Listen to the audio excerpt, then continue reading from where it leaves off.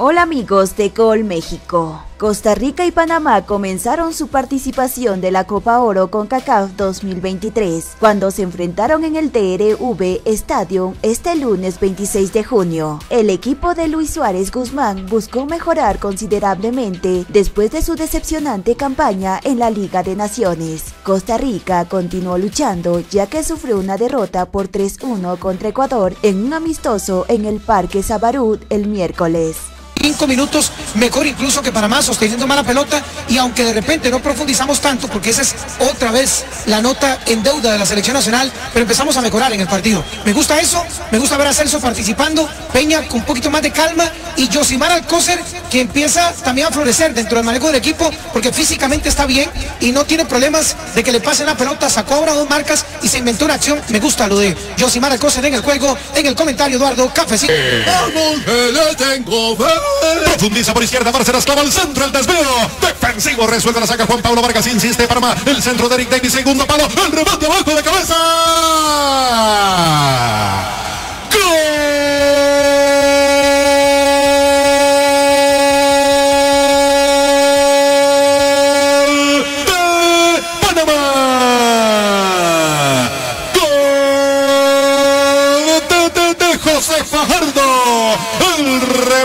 Dio Perón, nos hace más ricos, es contundente abajo. A la derecha viajó Kevin Chamorro, pero ni en moto le llegabas a esa pelota, Tico.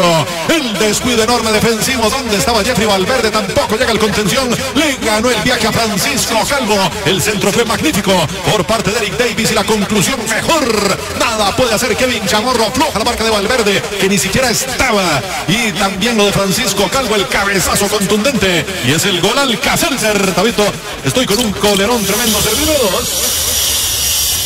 El marcador de pinturas blanco dice que Panamá ya tiene un gol al Caselser. Costa Rica cero. Don Yacín que hay que decirlo, una pésima marcación sobre Davis. Valverde no lo marca, absolutamente nada. Y luego Fajardo se le mete Hugo Eduardo porque creo que va Panamá otra vez. Ojo, va Panamá con peligro. La pelota dentro del área para gol, para gol, para gol. El remate Chamarro. Kevin Chamorro, sensacional con la defensa más segura. El pan blanco bimbo con Acti Defense, el único con hierro y zinc y un fierrazo que acaba de bloquear. Kevin Chamorro se desborona, jugaba bien el minuto 20, pero ya cambia totalmente la situación. Un pésimo rechace de Kendall Waston con el pecho. La deja el servidita, casi un pase gol. Lo que hace Kendall Waston, el balazo fue de Fajardo que venía por el doblete. Buena la reacción de Chamorro. Comentario Rey Selecto.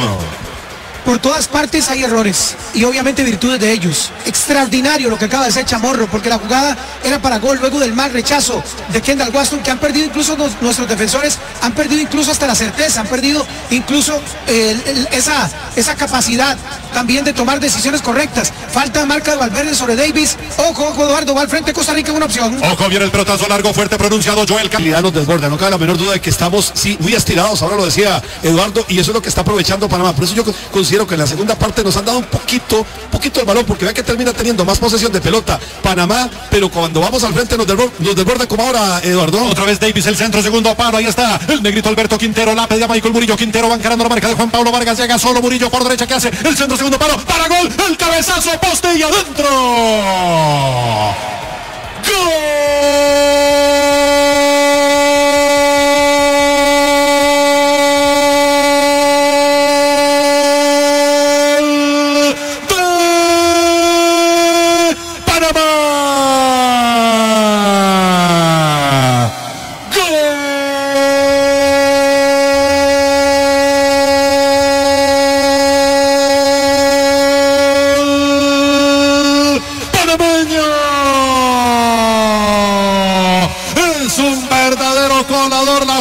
Nacional perforaron por la zona de la izquierda, así como Valverde no cierra el lado derecho, Calvo tampoco lo logra por el otro sector, ahí se acomoda Alberto Quintero, nadie llega a la marca cuando sirve a Michael Murillo, que tiene tiempo de peinarse, centrar sobre segundo palo y el cabezazo abajo, sólido y certero, es de Edgar Joel Bárcenas a la derecha, no pudo hacer absolutamente nada, Chamorro la pelota al vertical y adentro, Alberto Quintero con el gol al Caselser. Alcácer. Servime un parcito, Tabito, por favor, necesito las Alcacelser. Porque el marcador Pinturas Blanco dice que Panamá tiene todos y podrían ser más. Costa Rica, nada de nada. Don Yacín Quesada, Leonardo Cordero.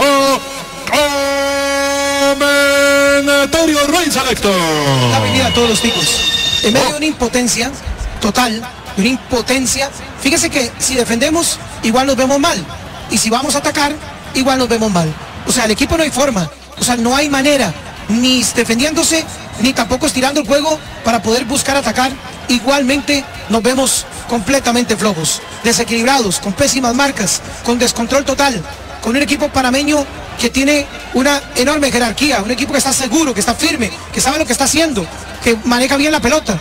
Y ahora sí están gritando aquí otra vez, pero ya lo hizo todos los aficionados ticos, fuera Suárez, fuera Suárez, que es lo que canta aquí en el estadio la afición tica, pero ahora sí con muchísimo más fuerza. Qué mal, qué mal nos vemos, qué tristeza, qué impotencia, qué decepción, qué falta de balance, qué falta de equilibrio, qué falta de recursos. O sea, es que podría seguir enumerando todo, Leo, y todo estaría correcto dentro de una selección que prepara dos variantes, pero que incluso cada cambio pareciera que en lugar de mejorar, pareciera que por momentos levanta el nivel y luego vuelve a bajar y vuelve a la realidad. Con un equipo panameño sólido, haciendo su trabajo bien y reafirmando lo que dijimos, que era superior y lo está haciendo superior. Y eso que el marcador no refleja realmente lo que ha sido el partido y las opciones que, que ha tenido Panamá. ¿Cómo se oye si fuera Suárez? Eh? Sí, ¿Se escuchó bien? Sí, sí, sí, clarito. Bueno, O sea, y- yo, yo creo, Leo, que, que estamos viendo el reflejo de todo, de todos nuestros males, de todas nuestras penas, de todas nuestras penuras frente a un equipo que se nota mucho más trabajado colectivamente, creo que lo he dicho no sé cuántas veces, con un equipo que está mucho más cohesionado y un equipo que si tuviera mayor capacidad en el gol nos estaría metiendo por lo menos 4 o 5, porque esa ha sido la realidad del partido. Estamos perdiendo 2 a 0 y la verdad es que el marcador no refleja lo que pasa, porque lo que pasa es aún superior en favor de Panamá, don Leonardo. Comentario, cafecito, Rey. La medida de los ticos, el café Rey Selecto, Yacín. Y es que ni los cambios han funcionado, ni el cambio táctico de pasar a, a jugar con cuatro en el fondo. Ahora hablábamos y estábamos precisamente en el comentario que se había estirado mucho la zona defensiva y le estaba dando la oportunidad para que Panamá tuviera más desborde. Ahí nació precisamente, eh, entrando por los costados con una gran facilidad. Aquí hay un centro, es pasado y vuelve a recuperar Panamá con una gran facilidad. ¿Por qué? Porque nadie acompaña, nadie llega a marcar, no hay coberturas, el equipo se fue un poquito adelante eh, precisamente para buscar algo a nivel ofensivo. ¿Y esto qué produce? De que dejemos el espacio suficiente para jugadores, ojo, muy rápidos. Es que ahí es donde nos ganan por la rapidez y luego el centro, que ahí creo que hay una muy buena acción de Fajardo, hace una pantalla, hace de que se venga la marca Kendall Waston y quede solo eh, de su compañero para que con el cabezazo bien colocado, ahí no podía eh, responder para nada Kevin Chamorro para el segundo gol del equipo panameño. Se lo cuento el nombre del grupo creciendo Selección Nacional prevalece. El marcador Pinturas Blanco. Dos Alcacel 0 a 0.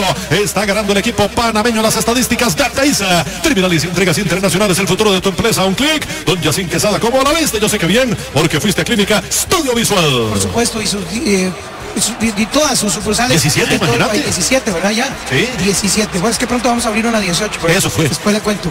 Eh, lo que queda claro es que lo mejor nuestro ha sido el portero. Sea, lo de Chamorro ha sido importantísimo. Eso es lo bueno.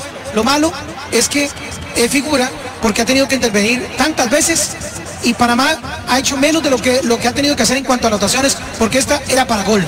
Bien el guardameta a dos tiempos, perfecto Chamorro, no hay absolutamente nada que recriminarle. El resto es el equipo en la cancha y que sinceramente sigue dando pena. Un equipo que se ve diezmado, disminuido, con un intento de un esbozo que no sale y con un equipo que simplemente está intentando algo más que por trabajo, porque que se viene a la cancha, digamos, por, por eso, por un intento de algo, un respiro que no sale, porque estamos jugando frente a un equipo que es muy superior a nosotros. Comentario, cafecito, Rey.